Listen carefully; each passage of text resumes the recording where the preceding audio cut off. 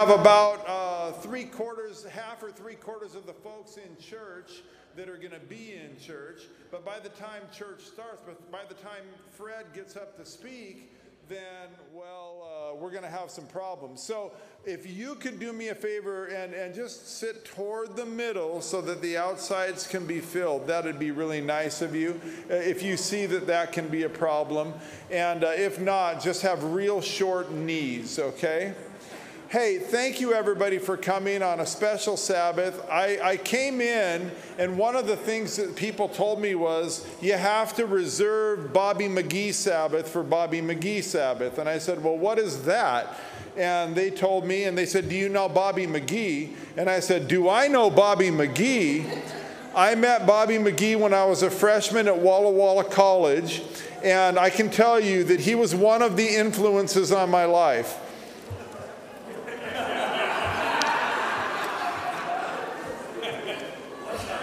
He and Bob Barnes shared an apartment uh, there on College Avenue, and I would go over to that apartment and learn at their feet. Consequently, by the end of the year, I was asked by Walt Meskey to leave.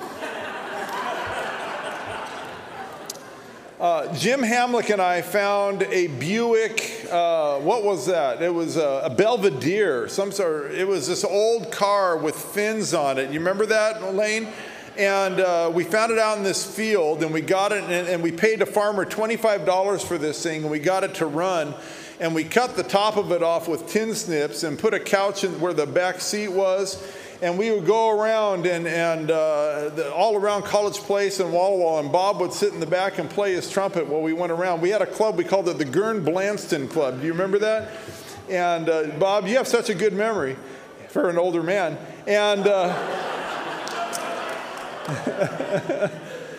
And we had such a good time. And by, by the time, by the end of the year, I had enough and I had to leave. But, uh, but Bob carried on the tradition. I don't know whatever happened to that car. Do you know whatever happened to that car? It's in heaven now. Yeah. Well, being a part of what was going on in that car, I guarantee you it's not in heaven.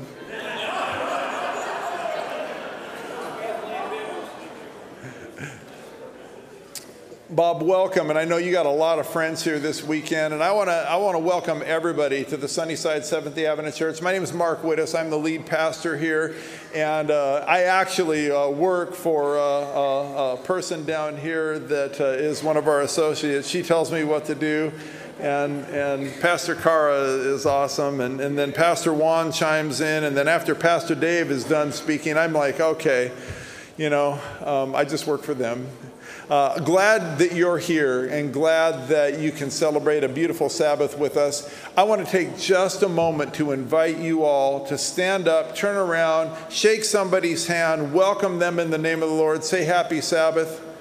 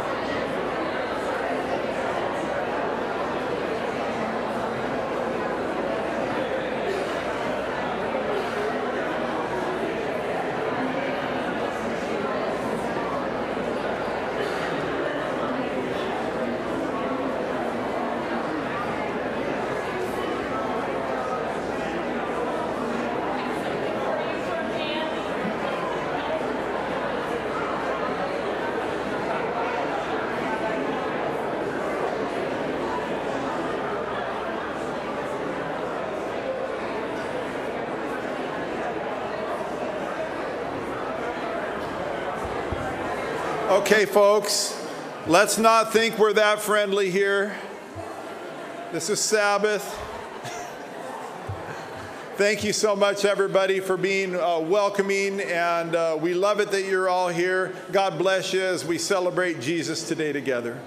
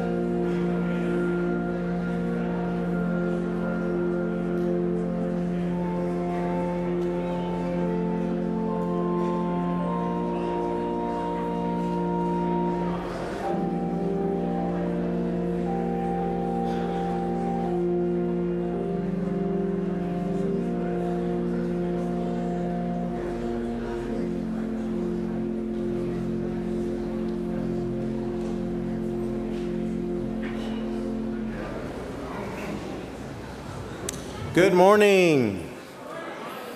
We are so excited that you all are here, and I am excited to talk to you about what happened at Oshkosh.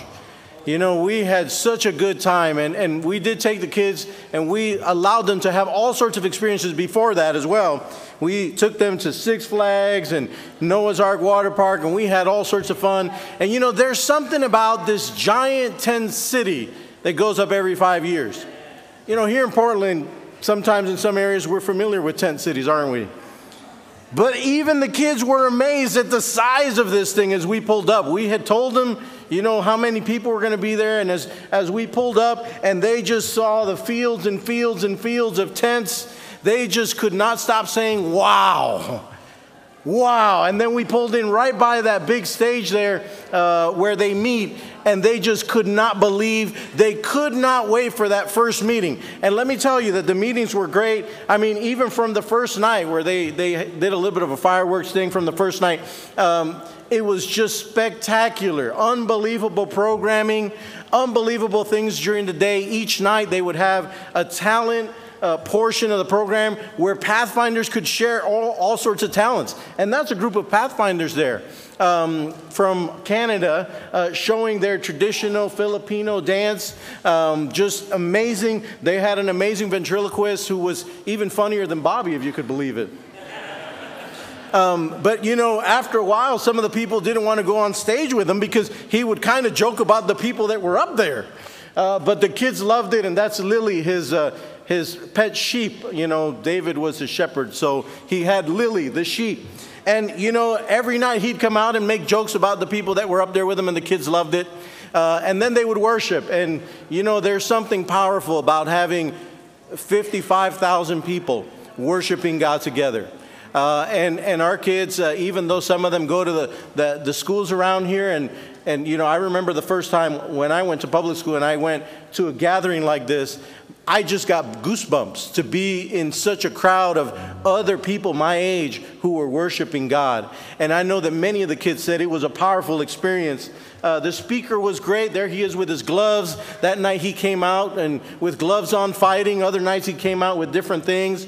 The plays were fantastic.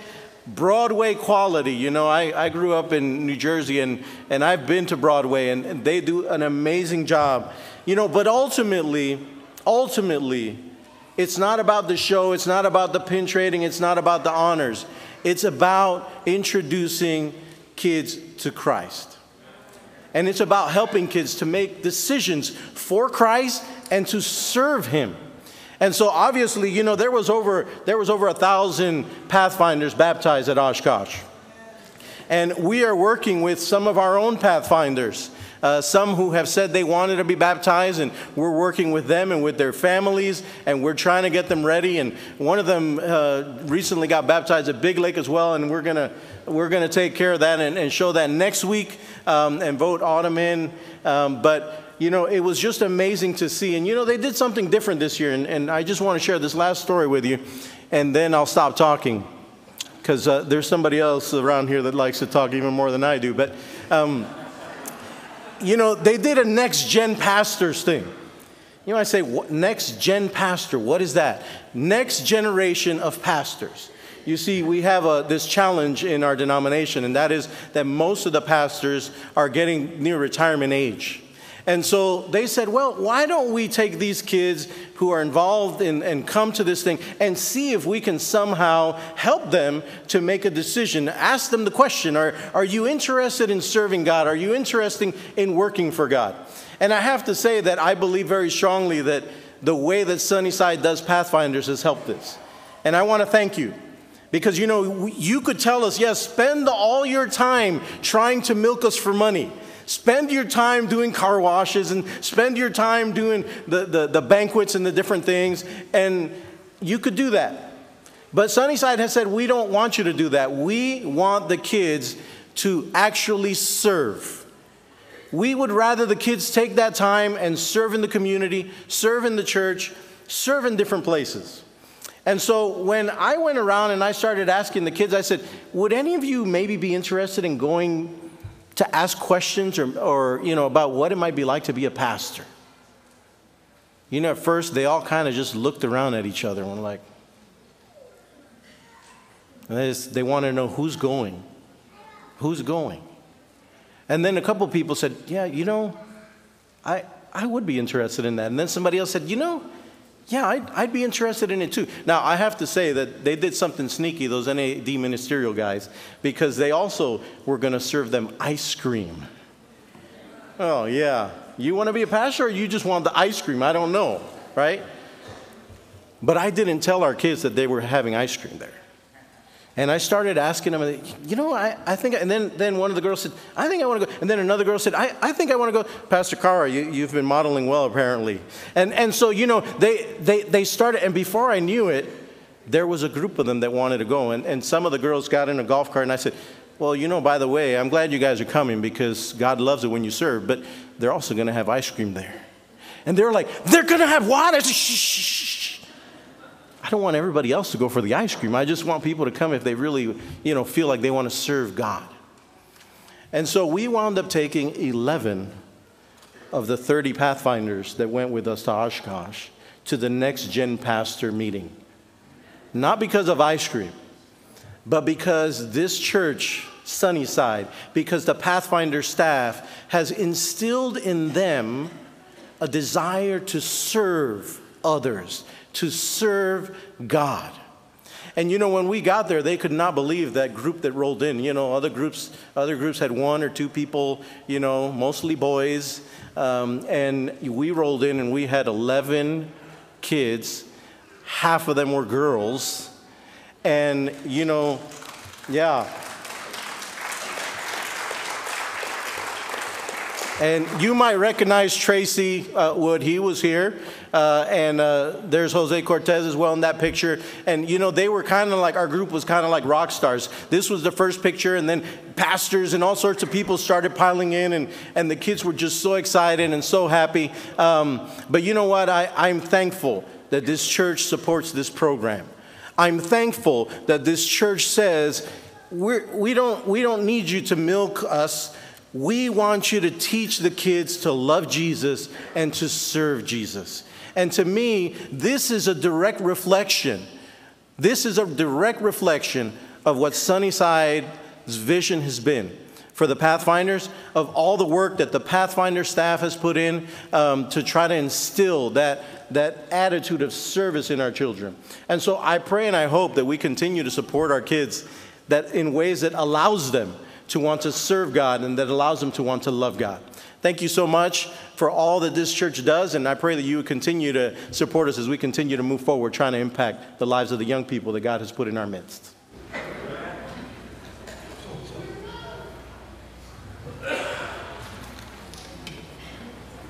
Thank you, Pastor. I'll try not to go on and on and on. Mike Stevenson, can you say good morning, Mike? This is Johanna Chevrier and Kayleigh Chevrier. And uh, they're going to be singing later on. I'm Bob McGee.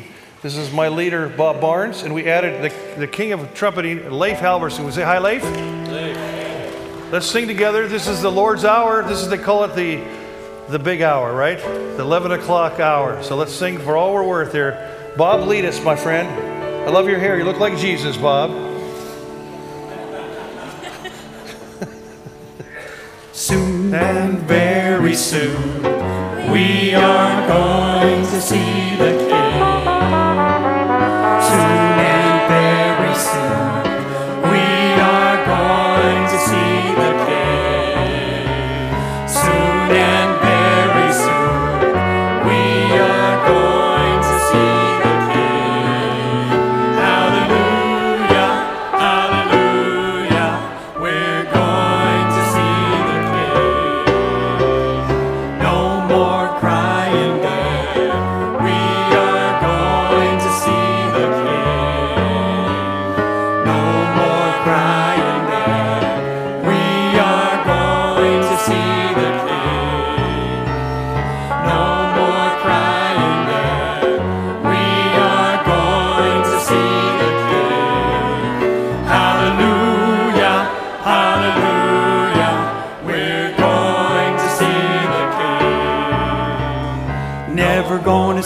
say goodbye. We are going to see the King. Never going to say goodbye. We are going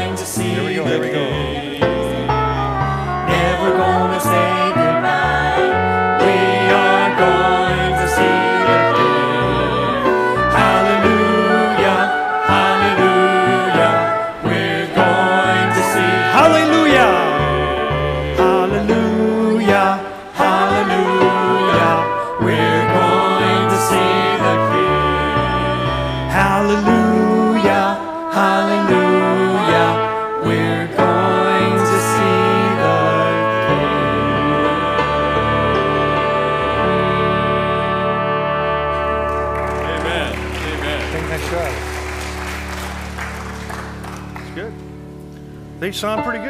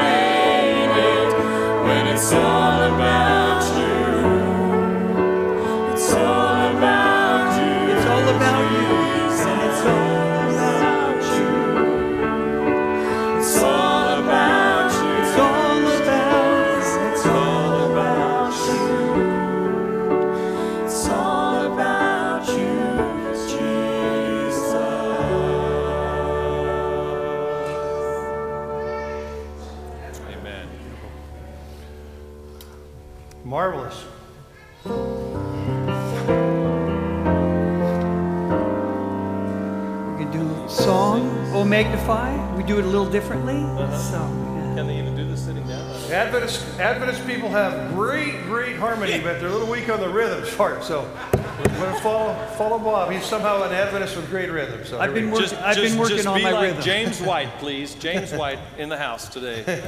Coming down the aisles, thumping his Bible. Come on now. Here, here we go. Get away. Here.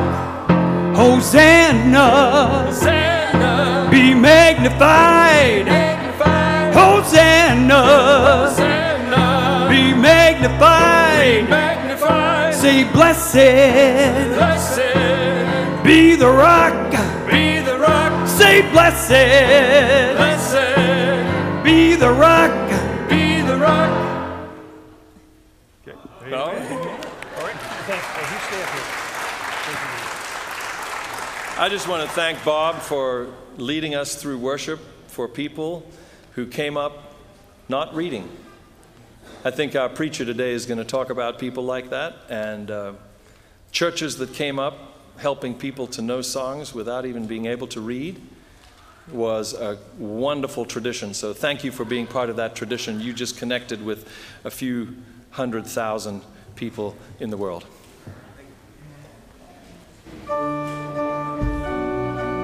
Stand together.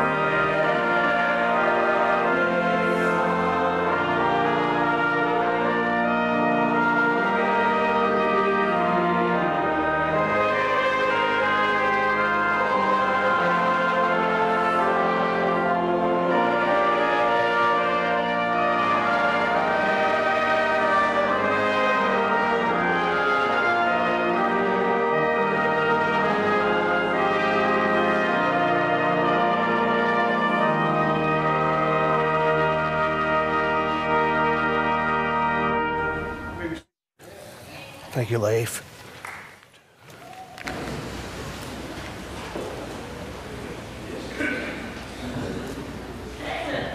First of all, I want to thank Bob McGee for uh, inviting me here this weekend, and it's a privilege uh, to be here at your church. And I do really want to say, first of all, that I want to thank this church group right here. Um, I was the athletic director at Walla Walla University for 30 years, and I see some of my players out there and uh, around the, auditorium. And when we were there at uh, Walla Walla, many, many times we came to this church, and you folks hosted us.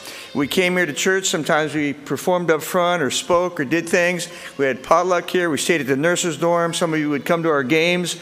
And it was a great experience. I just want to thank you for so, those many times that this church hosted Walla Walla University and our athletic program and promoted that. And we just really want to thank you for that. I just want to say that. Paul Howard, one of your members, has a memorial service here this afternoon, and I want to mention that also. If we could, shall we kneel wherever possible for prayer?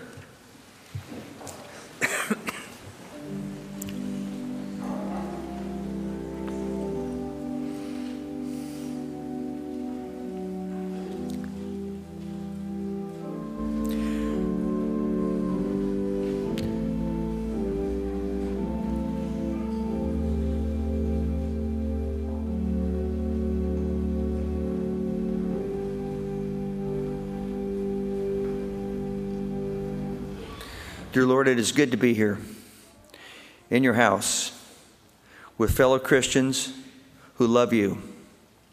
We cannot thank you enough for what you do for us every day.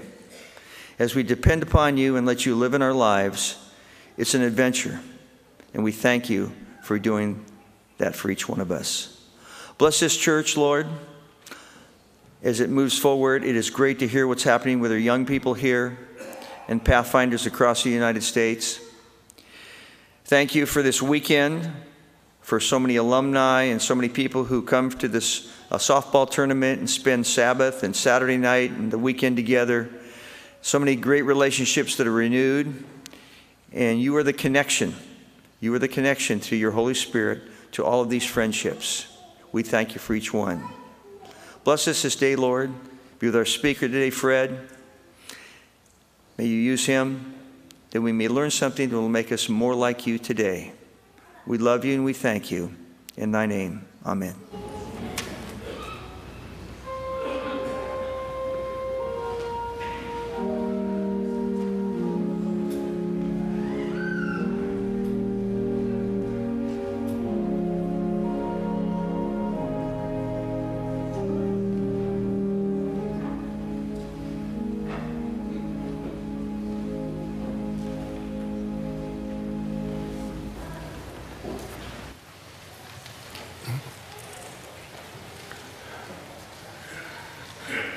Something happened to me over the last year. I'm now 60 years old,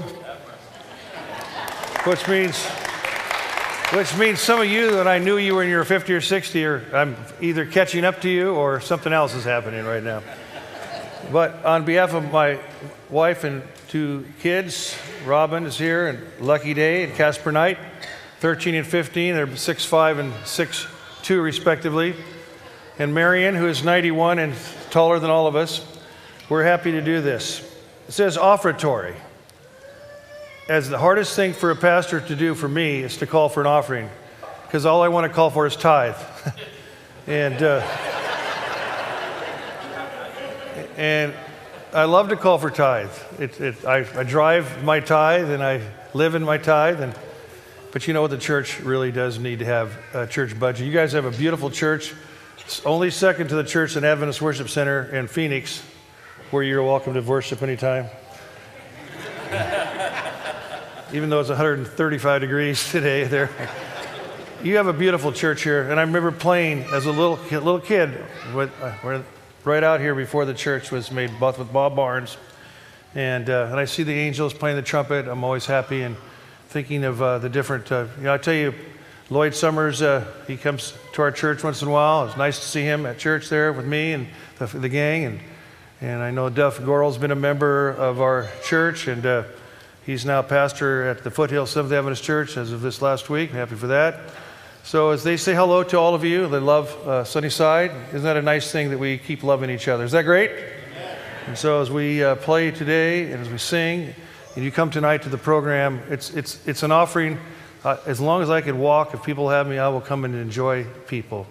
And I will enjoy, and, and even if it's just to see Bob Barnes, I'm happy. He still loves me after all the terrible things I say to him all the time. He still loves me. So as the deacons come up, I'm going to play a song that my father played with his saxophone. And uh, he played Bless This House with his saxophone. And I thought I'd never play it, but I do as often as I can. So bless this house, bless each one of you, the lives that you live. Thanks for being in my life. And as I live, I do see the people that I make happy and the people I offend, and I'm sorry for those. But if you love people and are able to say you're sorry and go onward, that's all you can do. And hopefully that you'll make a difference somehow. So Mr. Wynn is playing. I call him Mr. Wynn because I'm afraid to call him Hugh Wynn because he's my teacher. But he's here. How many of you had Mr. Wynn in, in your life somewhere? Look, look, at the hands there, Hugh. So thank you. And, and uh, let's play this song, and the deacons pick up the offering. Bless this house.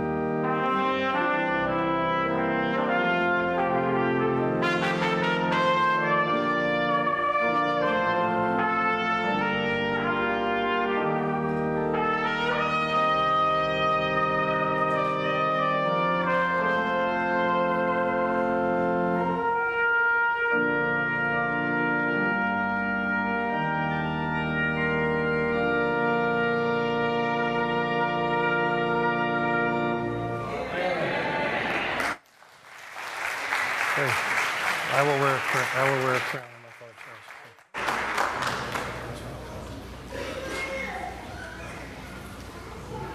I'm going to ask for my mother. How many of you know Marion? If you'd come up here and sit right here in this chair. And I'm going to ask for the audience to pretend that they were little kids once, just a cappella voices. And I want to tell you, there's going to be two things happening here. We're going to pick up the kids' offering. So, do they know how to do that right here? Okay.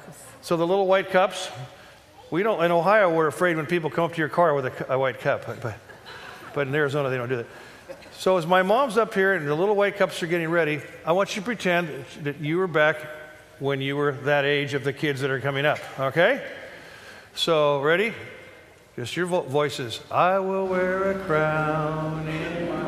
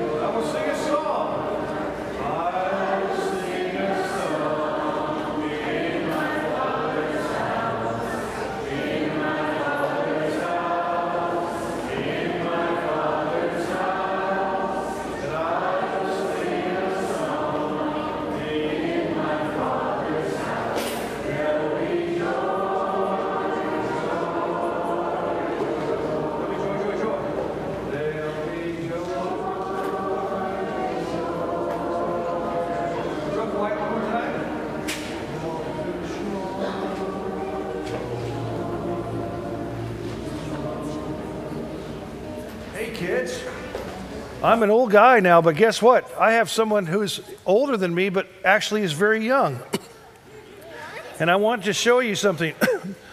this is, my name is Bob, and her name is Marion. And Marion was at one time your age. Is that true, Mom? Were you this? Were you at their age at one time? Do, can you remember that far back?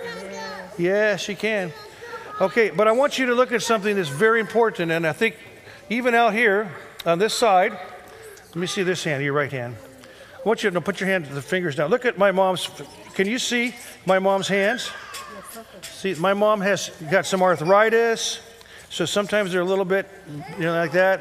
Look at my hands. I'm starting with arthritis too because I played too many sports. Yeah, see, your hands are nice and just young, and look at your skin. Look at your hands. See, look at the difference between my mom's hands and my hands and your hands. Now, maybe at, at, would you don't do that over here, sitting down. Don't look at the people's hands. These hands, right here. I'm going to hold your hand.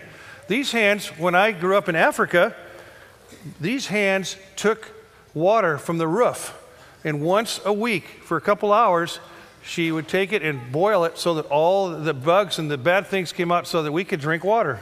Is that cool or what? These hands made cookies. These hands made bread. These hands made clothes.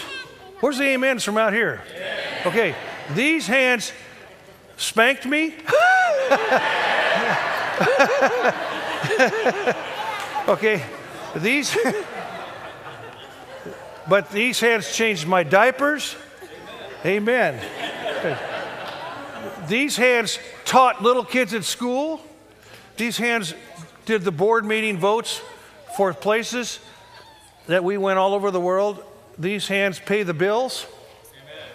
These p- hands drive cars. These hands grew up on a farm, milk cows, took care of chickens. These hands, is that true? Is all this true? No, no milk. No milk. You didn't know milk the cow. Did you ever milk a cow? No. Okay, I lied about that. Sorry, kids. hey, I'm the only leader I know that's told a lie. Okay, so, so, so, she has three brothers right here. She has three brothers. Oh, I didn't. Yeah. These hands have loved. What about your hands? Have your hands loved before? Have your hands gone up to your mom and your daddy or the people that your brother, sister, and, and I know that we sometimes, yes. Did your hands, have your hands? Yes. Your hands. So I'm going to tell you one thing. God told us we can be the hands, the feet, and other things for people if they can't do it. Does that make sense, kids? We can be the hands for other people. Amen? And when you think back, I would like for you to take a look at those you love and look at their hands. Maybe you could hold their hand. Wouldn't that be nice? Wouldn't that be, you know, you hold out, like they're holding hands right there. That's such a nice thing right there. So, and, and I'm going to tell you one thing it's not wrong, wrong to hold your friend's hands. Did you know that? So when you go back, maybe you, you go back to whoever you're sitting with and grab them by the hand and say, Thank you for using your hands. And we can remember that Jesus taught us how to do that because he used his hands. They actually did something for us, they saved our lives. Jesus' hands saved our lives, just like your parents' hands, and just like you will save people's lives. Is that cool, kids? Yeah. I, I thank you so much. Can, can you say thank you, Mrs. McGee? Can you say that? Thank Will you remember her hands? Okay. She's look at that. She still she, she still cooks like mad. Got, I go over to her house and say make something for me, and she does. So it's nice. Okay. So, so my wife even asked her to help, and she does. So it's nice. Thank you. I will wear a crown. Thank you, kids. Go touch somebody's hands.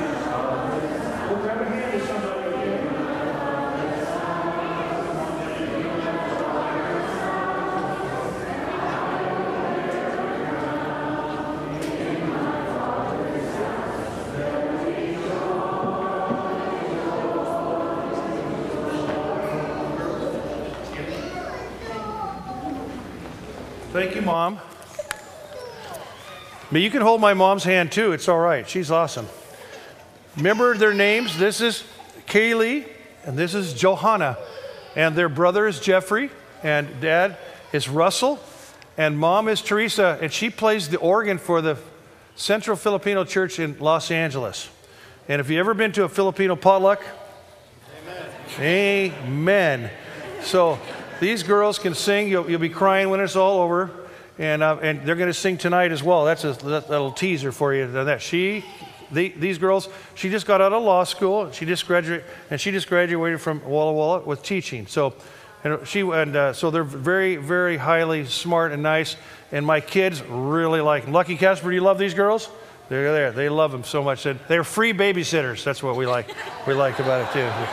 So stand next to them, Mike. Thank you. Hello and happy Sabbath to everybody. My, again, my name is Johanna and this is my sister Kayleigh. It is so nice to be back in the Pacific Northwest, and it's definitely cleaner air here than in Los Angeles. Today we are going to be singing I Am Not Ashamed of the Gospel. Thank you for having us this morning.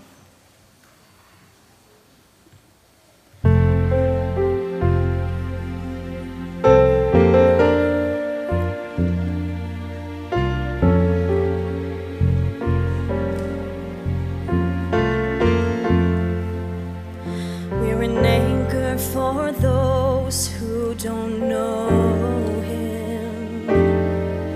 We're a harbor for those who are lost.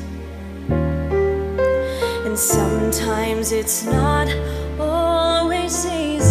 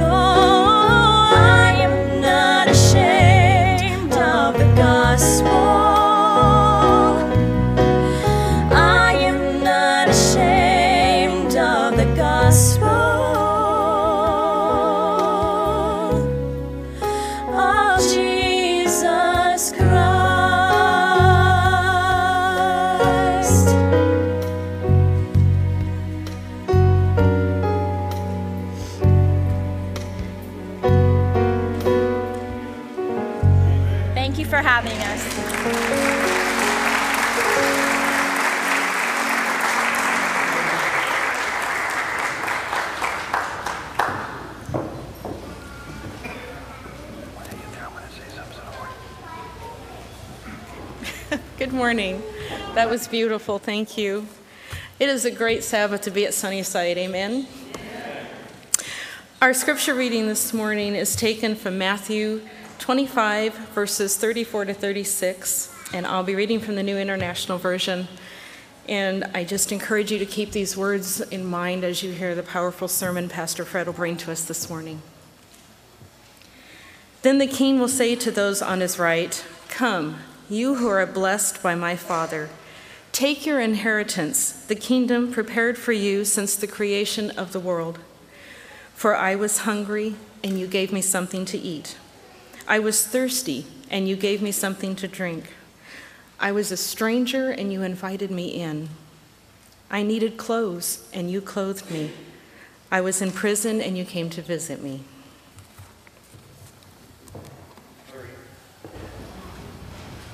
When I was in school, this girl always was kind to me and nice, and I didn't know what I was doing there. I know a little bit more now. But I want to tell you, to, to hear you read scriptures and to be a friend of yours, I count it a great privilege. Thank you very, very much. I love Lorraine is awesome. Thank you so much. Fred? Thank you. When I was in college, uh, we played play football, and uh, I always liked to play football until I met this guy because he could outrun me over there. But, but I'm waiting for the day when he's going to get hurt, and then I can, then I can hit. No, but I want to tell you, he, he offered me an opportunity that saved my life. And uh, when I was pastoring, somehow uh, uh, we we're moving somewhere to Ohio, and I thought, Ohio, why would I ever want to go to Ohio? 12 years before, he invited me to Ohio to speak at a in summertime. And when I went to Ohio, the two pastors who were given the job of calling to see whether I was okay were friends of his. so I was okay. So you know, I'm just telling you, that meant a lot to me when they said, "Oh, we love this guy. He's great." Thank you, Fred, for that opportunity. So I'm grateful that you have opportunity to come and do this for us, even though I never thought I'd be in Ohio, but I loved Ohio. So God bless you, brother. Hey, love you, man. Good morning. Um, Pastor Mark, thank you for sharing your pulpit. And um, we know how important and sacred this time is. And Bobby, thanks for carving out some time for me. Um, you, you're very intentional about a lot of what you do, and I know there's intention behind uh, days like this. And I want to thank you for being part of it. My wife Jill and I, um, we traveled over last night from Boise, and it's good to be here. I, I'm curious. I, I I don't feel like I know you all very well. There's probably 15 or 20 of you that I know. In fact, I can see an old seminarian classmate of mine, Dan. Hi, Dan. He's the captain of the Oregon Conference ship here, and it's going in a good, good way. I um, How many of you don't normally come here? I'm just curious. You're, you're visiting today. So maybe about 25, 25% or so. Okay, thank you. Um, you know, I, I, I need your prayers because I vacillate between wanting to encourage you and being mad, and I don't know what I'm mad at. My wife asks me sometimes what I'm angry about. It's, it's a, um, a struggle. I pastored for 10 years, and then I started my own company, and over the years, that company has grown. We have about 200 staff. We're based in Boise, but we own properties, real estate, uh, apartment communities around the United States, and it's been. Uh, it's been a wonderful ride, but the older I've gotten, the more I wanted to turn back towards ministry. And so I get, I'm getting to speak a lot more than I used to. In fact, some of you don't know this, but I was out of the church for probably 10 years. I didn't even read my Bible. Um, found out I was an alcoholic. Um, was growing my business. I had a pierced ear. I've got tattoos, which I could show you. No, I won't. I won't do that. But next time, tonight, tonight, that's, that's, that's a teaser. I may have just killed the attendance tonight. I don't know. Front row, sure. Mirrors and everything. But this, it's a privilege to be here with you. And I, I really, I want to share with you something I struggle with as a fifth generation Seventh-day Adventist because there's just some things I think we get off course sometimes. And, but I, uh, by the way, do any of you remember Terry Tamiosi? She's our office manager now. Oh, there's a wave of a hand back there. She's our office manager now in Boise at Cloverdale Church. And she went here, I think it was 12 years or something like that. But anyway, she wanted to say hi. Um, Christmas, 1967. There was a humble Christmas tree at Estacada, not very far from here, about 24, 25 miles. And underneath that Christmas tree, for those four boys, was a, a pair or a matching set of boxing gloves. And these were the big, these were not the small eight ounce kind where you can really hurt somebody. These were like twice that size. It was like duct taping pillows to your, to your hands. But the two oldest boys of those four boys put them on, and they got into a brawl, as much as a second and first grader can. And they're wailing away on each other, and there was a twist, there was a turn, there was a poke, there was a swing and one of them ended up with a hernia. So, loaded on Christmas Eve in the back of the family station wagon, the kid with the hernia, with a pillow now behind his head as he laid flat in the back of the, the, this family station wagon that was probably from the 1950s. They drove down the road as quick as they could to the nearest hospital, which happened to be just right over here. That was my first trip to Portland Adventist Medical Center. And I've been coming back ever since. Um, this, it's remarkable to be back here, really. I'm 59 years old now. And I want to share with you because my time is short. Um, you know, this, I want to share with you what's really on my heart. There has been so much of Seventh day Adventism that in our hearts, I think our intentions were well placed, they were well meant but we've created what I call a G rated world. We've created a place where we can separate our kids from other kids. We can send our kids to just our schools. Of course, we welcome other kids if they behave, but we want to create a safe environment to pass on our values to our kids. Uh, sometimes we have, in clear at the other end of the spectrum, we even have senior retirement communities where you can go and you don't even have to talk to somebody who's got bacon bits in their house. I'm talking about the real ones, not the fake ones. But when you start to look at the world that we've created, our intentions were good. We wanted to remain unspotted from the world, like it says in James 1:27. But in some way, in separating ourselves, we lost our mission in some ways. Now, some of you are saying, well, it's the three angels' messages. I want to change and refocus you for just a little bit today. And I, there is so many good things that this church is doing in this community. It's really remarkable when you start to go down the list. Uh, my wife's two children, um, Andrew and Holly, are both nursing graduates of Walla Walla University, and and attended. Uh, one, our son lived over here for a while, but they all lived within just five or 10 minutes of, of, this, of this church campus. And we've gotten to know this community in, in, a, in one way, but in other ways not. And it's really intriguing to me to see how the Spirit's moving in this church to do some incredible things in getting involved in this community. But it's remarkable, isn't it? Within just five or 10 minutes of where we are right now, you can be in a very dangerous part of town. You can drive by people who are just waking up right now because they spent the night in a tent in a park or on some just little narrow piece of grass that's alongside a busy road. There's people, we saw one last night, an individual that you could just tell in his face that he has had so much pain in his life that he has to self medicate. And yet, in the G rated world, when you drive by somebody like that, you're thinking, well, I'm not giving them any money. He's just going to go buy alcohol, he's just going to go buy drugs with it. But the idea is self medicating for somebody who's been through so much pain. That's sometimes all they've got. You know why? Because we're stuck in our G rated world and we haven't gone into the world they live, the X rated world, to reach them. It's easy to say that everybody needs the gospel, but people don't need that. They need the gospel with skin on it. They need you and me to take more risks. We've got to take more risks to go where they are. We need to find them, we need to do everything we can to reach out to them. I want to share with you uh, the story of Pastor Bill Wilson. You may or may not have heard of him. He is the pastor of a Sunday church. Whoops. He jokingly says that uh, his mom abandoned him as a child because he was so ugly. He's a caustic character. If you've ever seen him, maybe some of you uh, have heard about him. But he's one of these guys who's just not easy to get. He's kind of like trying to snuggle up to a porcupine. He just is a, a, an unattractive individual in so many ways.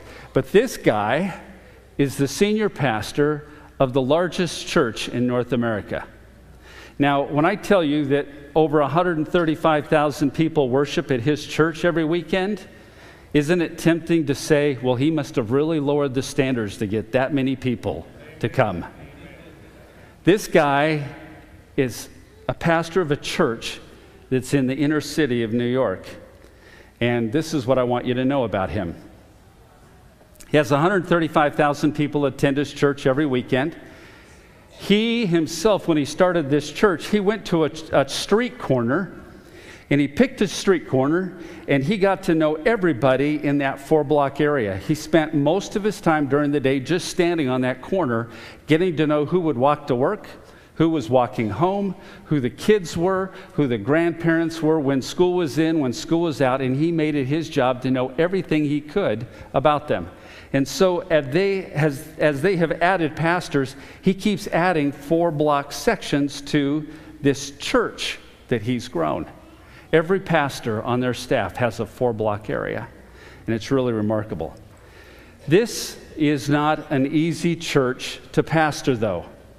This church has got mostly street people or what we would call very low income people.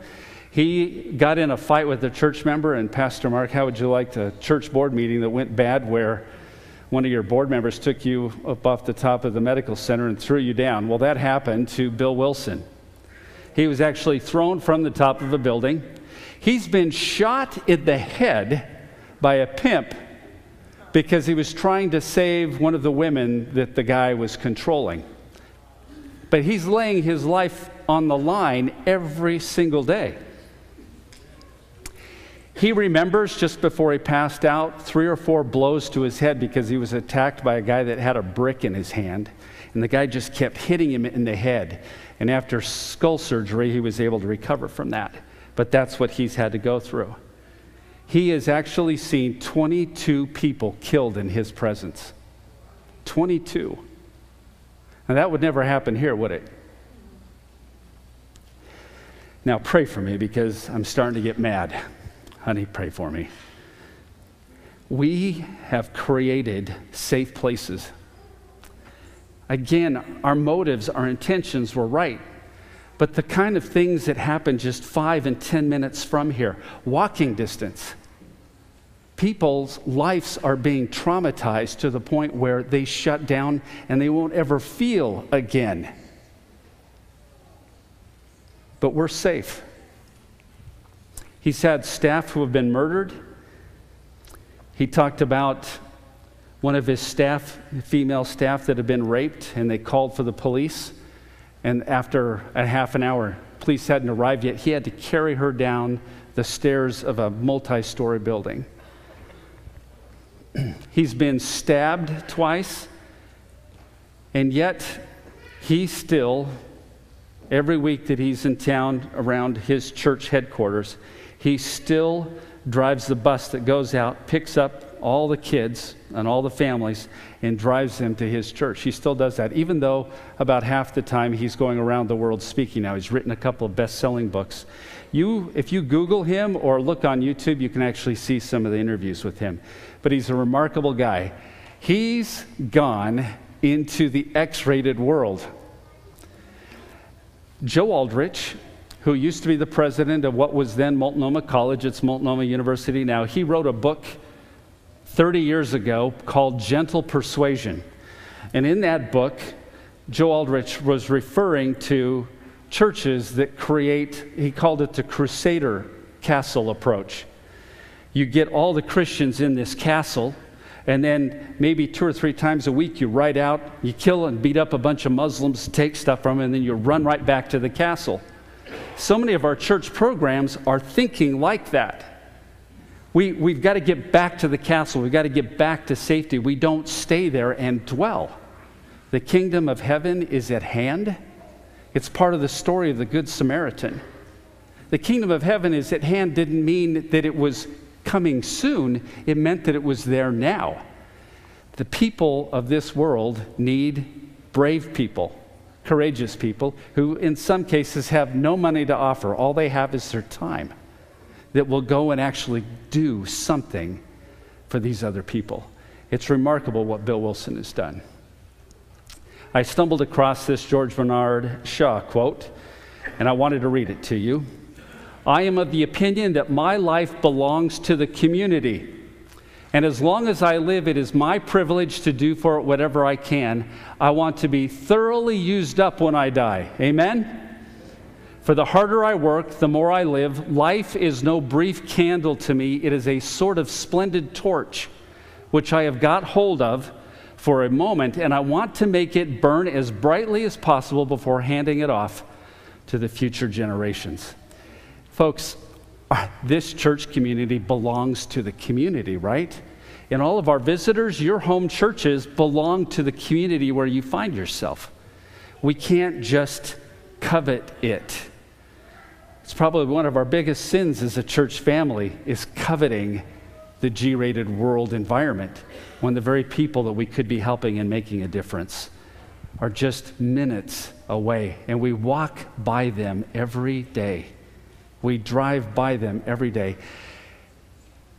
Be the gospel with skin on it.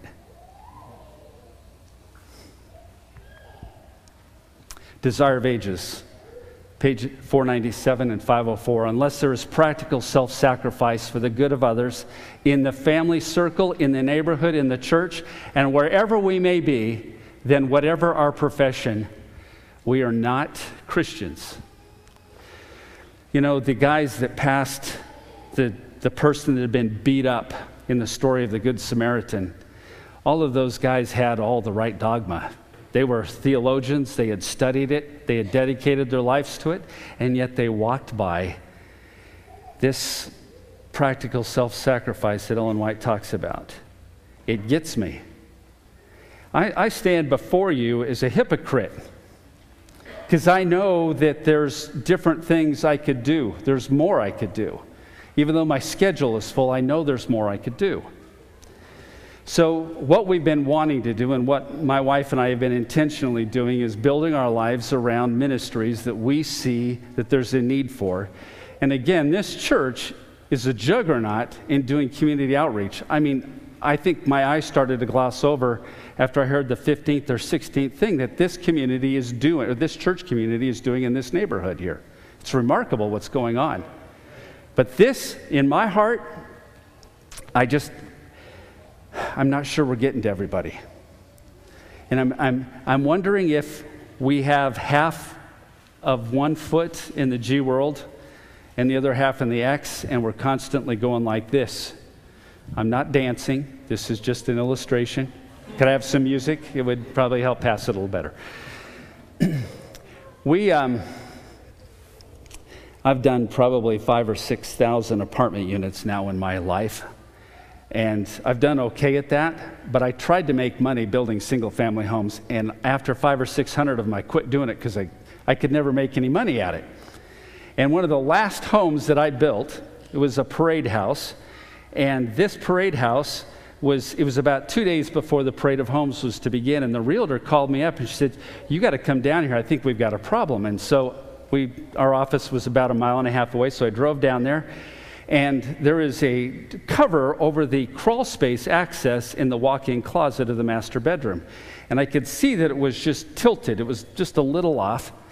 And I went and I looked and I lifted up that, that hatch, and down in the crawl space was a sleeping bag and a duffel bag. And so we decided to figure out who it was that was, it looked like somebody was squatting in this parade home. So we set up at night and we waited and we saw somebody park about two blocks away, and we saw this dark figure walking down the sidewalk, go down the side of our house, lift a screen off. There was a window that was open. He slipped through the window. And that's when we went in there and we met him, and I won't say his name. But we found out that he went to the same high school that my kids do, or did. He had aged out of the foster care system. He was 18 years old, but he was only halfway through his junior year of high school because he'd had so much trauma and being moved around to so many families, he hadn't been able to keep up academically. That high school of 1,500 students, I found that the guidance counselors at the school estimated there were somewhere around 40 homeless kids just in that high school alone. So we wanted to do something, but we didn't know how to help them. And sure enough, a 24 year old came to us and she's a remarkable young lady. And she, it's called GEM Friends, G E M Friends. And that's, of course, Idaho is the GEM state. And she named it after that. But to this date, she's, I think it's 27 or 28 individuals now. She goes out and finds homes that she can rent, and she collects monthly commitments to where somebody's paying the rent for these houses. And these kids that have aged out of the foster care system can stay in these homes for free as long as they're working and going to school and getting some kind of trade or getting some kind of college degree. That's a 24 year old did that. And that's a remarkable thing. But in the Treasure Valley alone, there's about 750,000 people now in the Boise Metroplex. And they're estimating there could be as many as 1,200 homeless high school students that have aged out of the foster care program alone. So we're not even hardly touching, the, scratching the surface of this problem. But it's an example of what can happen. And folks, there are homeless people everywhere, and you don't always know their story. Sometimes it's substance abuse. Some of us, our weaknesses are apparent by the way we look. Some of us, our weaknesses, we're able to hide. Some addictions are more prevalent than others, some are more crippling than others. But, ladies and gentlemen, even just a couple of hours a week invested in the right person can be a remarkable thing and a blessing that can just bring the gospel present instantly just by simply being there, by stepping out of the G rated world into that X rated world. Um, I saw a movie, I can't remember if it's called Innocence or Priceless. I think it's Priceless. The lead singer of a group called For King and Country starred in it. But it was one of these movies that I had, um, it was on a topic of human trafficking. And I had happened to find an FBI study that showed where the calls were coming from for reported trafficking of, of, of people. Portland, Seattle, Spokane, Boise, Sun Valley, Coeur d'Alene, these all had different colors of intensity based on the number of calls that would go into the hotline for the FBI. And when I saw how many there were in Boise, I had uh, one of my computer hackers go, and there's something called the dark web. And they actually went online and found three pages, like going on Craigslist, they found three pages of listings of uh, young Asian girls or uh, come to this truck stop. Uh, you, you can choose from any variety, and this is all found on the dark web. And we were we went after them. That was one of our first things, and we actually got that where we hammered them so hard, and we got FBI and TSA involved, and they actually took that down in Boise. The but that's just one thing. I mean, it is surrounding us. The you talk to an Uber driver that drives at night on weekends, they can tell you about the number of instances where they think they've been trafficking somebody and didn't even realize it. You talk to night clerks at hotels, and you'll find that they know and see situations where they should be reporting, but a lot of times they're afraid to, or they don't know who to talk to, they don't know who to call. Uh, ERs, during one survey that uh, where they surveyed girls that were stuck in trafficking, they found that there were 10 or 15 contact points that they have with the outside world because they're trapped in an X-rated world. There's nobody there to get them out. And it's not so easy for them to get out as you would think. They're stuck in there and they don't know how to get out, but if they get hurt and they go to ER, a lot of states will release these girls to a gentleman who claims to be their father without even documentation.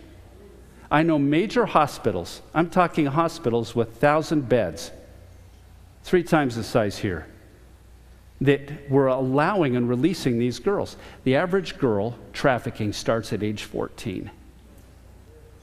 They are so traumatized within just a year or two that they don't even know how to leave. They've forgotten everything has been so hard for them that their previous life is almost forgotten. When they try to go to leave, the manipulation that happens with them emotionally is staggering. These girls, sometimes their sister is with them in the same house. They call them hives, at least that's what I've heard them called. They'll have eight to ten girls, and these pimps will keep an eye on them, make sure that they sleep during the day because they work all night. Well, they get emotionally trauma bonded to the other girls. And so what happens is these pimps say, Julie, if you leave us, we're going to hurt Karen. If you don't come back, we're going to hurt Karen. And these pimps can tell, they know they're psychological experts. These guys have studied how the mind works. And so they set these traps for these girls. They're always constantly trying to intimidate them to keep them bonded to them. The average girl, according to the FBI, will have to leave seven times before she actually stays away seven times, and sometimes that can take two years. Do something about that in your own community. If there's an organization that's already doing that here, join them, volunteer, help out. 12 minutes away is the campus of Portland State University. There's 27,000 students. And if I could apply a national average, that uh, there was, I think it was 200 uh, colleges and universities were just surveyed. There's actually been three studies done in the last two years, but they're finding that about 30 to 35 percent of college students are only getting 10 to 15 meals a week. These are students that are trying to get degrees or trying to get professions that they can go out and actually be contributing to society. They also found in this same study that somewhere between 9 and 11 percent of these college students are homeless. And that's another remarkable statistic to me because, again, they're trying to do their best. And that doesn't mean to put down the homeless that aren't in school because, again, so much has happened to them that they don't even have the capability of having academia stick in their brain because they're just simply trying to survive for the next hour. We've started doing medical and dental clinics around the United States. Um, We actually had 1,500 volunteers in Baton Rouge recently. Baton Rouge, it's called East Baton Rouge um, Parish. It's a little over a million people, about 1.1 million. There's less than a thousand Seventh day Adventists in that parish. About 600 of them are active. So think about that. Over a million people in Baton Rouge, Louisiana, 600 Adventists, and we had 1,500 volunteers. We only had about 100 volunteers of our 1,500 base that were actually SDA, so less than 10%. But if you were to walk into that clinic when all these people were being helped, you would sense God's Spirit there. It was a remarkable thing because everybody, Ellen White calls it in Christ Object Lessons, page 385, she calls it wherever you see the impulse of love, you'll see the working of the Holy Spirit. She goes out on a limb. If I could find a limb, I'd go out on it with her. She says, These people never even heard the name of Jesus, never even heard the name of the commandments. If they continue to follow those promptings, that'll lead them into the kingdom. I see the Holy Spirit everywhere. I see him down by Voodoo Donuts. I see him at Goldie's in downtown Boise. I see him everywhere, and it's remarkable to see what's going on. The Holy Spirit doesn't know a G rated world and an X rated world. It lives in the it is everywhere at all times, and it's available to us as encouragement, a compulsion, and a compulsion to love and to go and do good things in His name. I am pro life, but I'm pro choice for others. Think about that. And I know a lot of teenage girls that the guy is never around, but the girl gets pregnant. And what happens? While people are out protesting and working on thought provoking Facebook posts, there are other people that are actually going out and finding houses where they'll find a grandma figure or a mother figure, and they'll say, okay, you get the master bedroom, but this four bedroom house, we're going to find three pregnant girls, and as long as they agree to follow these rules, these girls that have been kicked out of their homes in some instances by Christian families, they've kicked them out, they don't have anywhere to go, and yet there are places, there's 27 homes in Seattle through a Presbyterian church program there where almost 100 girls are being served through this very program. This is another thing that, depending on what it is, and by the way, I had a nice conversation. I won't say any names, but I had a conversation with somebody in between services about, you know, well, I, I really feel um, a conviction, a passion to work with animals. And that's a wonderful thing because animals are part of God's creation. So, dogs and cats, um, that is a worthy place. You guys, all, this is nothing new. You've all heard this before. You've probably heard some of these ideas before. But where is your passion? Are you doing something because you think it needs to be done, or is this really something that you're passionate about? Because if it's something you're really passionate about, that's when the life changing starts to take place. Some of you might have this passion to help these pregnant girls. Now, here is something anybody can do. I met a guy down in Zion National Park, and he told me, as we were talking, it was around a, a campfire, there were probably 100, 150 of us, but he was telling me about how about 20 times a year he'll go and he will get a booth at like a county fair, or he'll go to flea markets, and instead of selling stuff, he just has a table, and on the table it says free advice. That's all there is. That's all. He's got two chairs on the other side of the table. He sits down. He never hardly gets up. He's old. He's probably 80, 85. But he's got a little jar on the table that says donations. It doesn't say tips, but it says donations. And most of the time, he gets enough donations from people just walking by to actually pay for the space of what he put in to be there but he just listens to people. In fact, he said I should call it free listening because that's what he does most of the time is he just listens. People need you. The world is in desperate need of you and your presence. And it, it takes courage sometimes. Um, we've stepped towards that X rated world and we've put our toe in, we've gone back, we've showered, and this is okay, oh, whew, you know, and then you just explore, you step out a little bit more. I, I know this is this statistically this would be terrible if I could only convince one of you to do this, but that's all I'm after. I have low standards, just like Bobby McGee has low standards for friends. So my goal is just to change the way one of you looks at all of this. Take a chance and move from this G rated world that is so safe and cozy and comfy and move into that X rated world and find out where you're needed.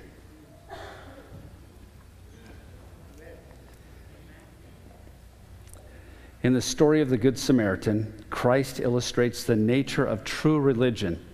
He shows that it consists not in systems, creeds, or rites, but in the performance of loving deeds, in bringing the greatest good to others in genuine goodness. My favorite phrase is disinterested benevolence. Now, I've had guys argue, I've watched them argue. You've heard the old adage, the Jewish proverb, wherever you have three rabbis, you'll have four opinions. It's also true of Seventh day Adventists, isn't it? You get us together, we've got opinions, we've, we've thought through all kinds of stuff. I, there's nothing wrong with that, but folks, if it doesn't lead to action, it's an old fashioned waste of time. To move towards this G rated, away from the G rated world to the X rated world, is an incredible thing to happen. And but in the story of the Good Samaritan, how many times was that man who was beat up, laying in the ditch, passed by? How many times did people walk past him?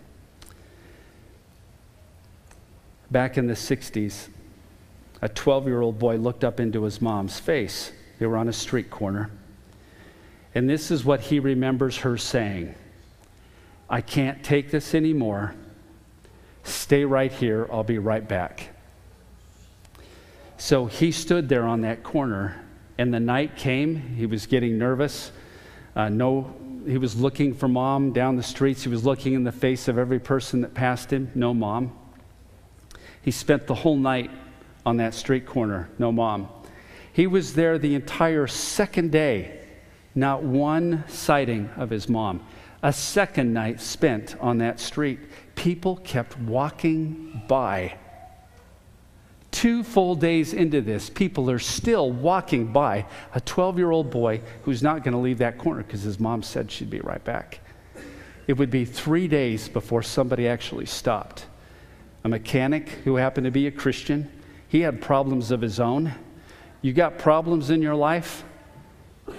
My word. If we were to hear the stories of what some of you guys are going through right now, we would all be in tears just in what the group of people we have here right now. But at the same time, the potential for love and for being involved in people's lives among this group, the financial resources, but, and you know what? I've been fortunate that way with financial resources, but you know what I found out? all across the economic spectrum, all of us have just the same amount of time, and that's probably a more valuable commodity than anything on this planet. So if all we've got is time, that's another thing we can give. But this man, with his life in, in losing a son to leukemia, stopped and talked to this 12 year old boy and took him home. They put him into a closet that they converted into a small bedroom in the church where he would be raised the rest of his life. He would go to summer camp. He would clean the church in exchange for being able to stay in this church. And uh, he would eventually grow up and he would actually become Bill Wilson, the guy that I told you about, that is the pastor of the single largest church in the United States. He started his church in New York on a street corner because he knows that not too many people walk by there's too many people that are busy or they're caught up in something in their head and they walk by the very people that they could help. When ordinary people like you and me, when we leave our G rated world and we go where people are who need genuine help in goodness, in love, we can do extraordinary things together. Leave, or, we're, we're ordinary. We're, aren't we ordinary in God's eyes? But He just loves us incredibly and He gifts us in all kinds of ways. Maybe even ways that are dormant in your life right now that you don't even know about or haven't even thought about. God can move you, and we can do extraordinary things together as we serve others in His name.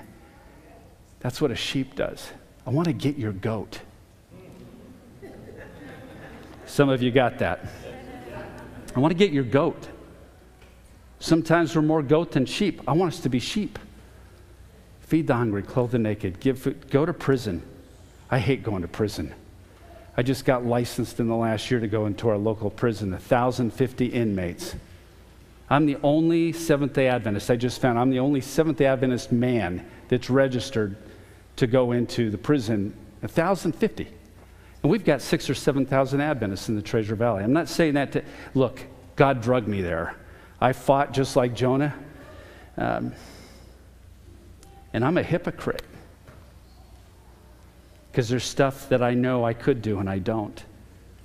So let's leave that G rated world with courage and go and serve in His name. Thank you. Thank